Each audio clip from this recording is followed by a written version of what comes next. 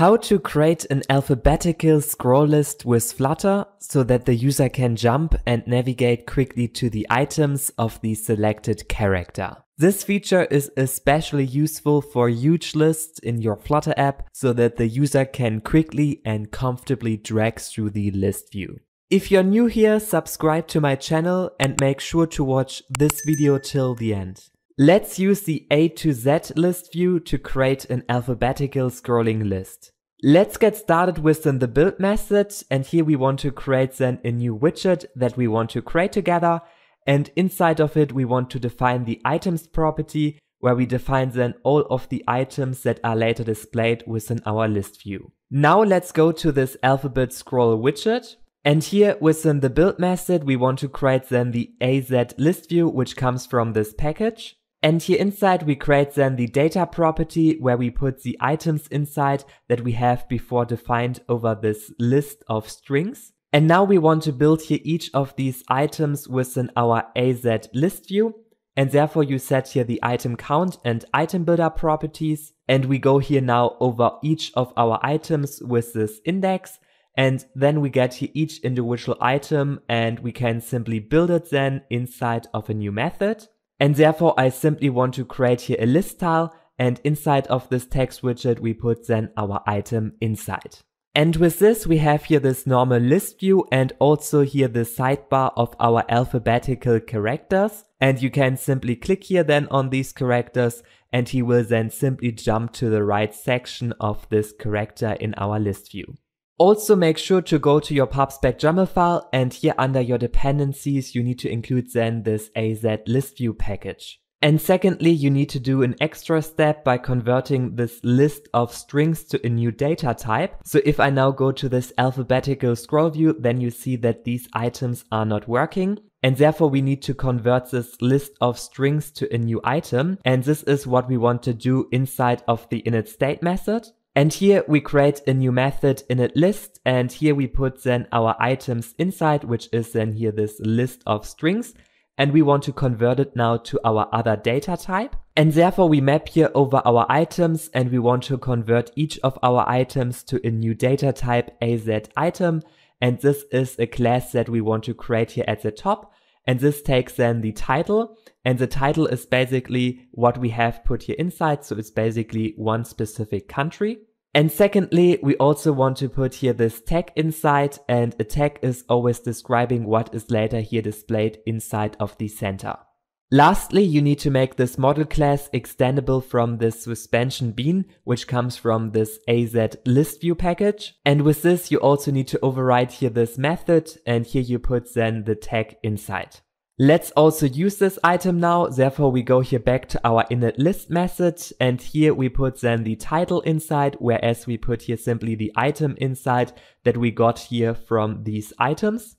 And secondly, we also need to define then here inside the tag and the tag is basically also this item, only that we take here the first character and make it to uppercase letters. Let's also store then this new list here inside of our state and therefore we create here this list of AZ items. And these items are actually then going here inside of our AZ list view. And that's it. Now your alphabetically scrolling list should also work. It is important to understand that the items that you put here inside needs to be sorted. So you cannot do something like that you have here B and then you have again A, then you have Z for example. So this is not working. In case you have an unsorted list, you can easily fix this. Simply go here inside and here within the init list, you can then call this method sort list and you simply put your items inside. So before I had here this unsorted list like you can see, and now after a hot restart, the list is sorted by the first character and you see that everything is again sorted. Next, we want to customize our alphabet scroll list. So we want to customize here these labels and also the headers that are always displayed on top of our items. Let's start with the label. So right now the label is always centered and it is also here displayed in black. To customize it, you can define here this index bar options and here inside you can then set first of all the alignment of this hint and I set it here right now to center right. And with this, if I scroll here now through, you see it is aligned to the center right location. And if you want to have more control, then you can also set here this offset.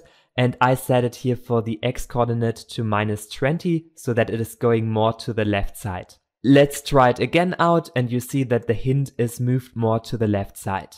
Next, you can set the text style of the selected item and therefore I want to set it here to a bold text. And I also want to set the background of the selected item and I simply want to give it a blue background and I also make it then as a circle.